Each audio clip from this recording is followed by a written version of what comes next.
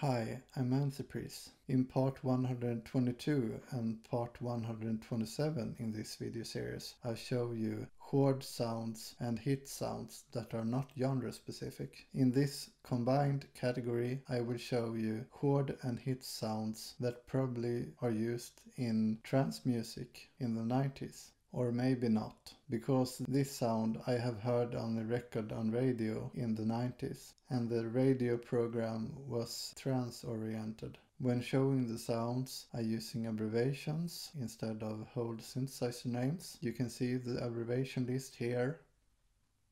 Now it's time to show the sounds.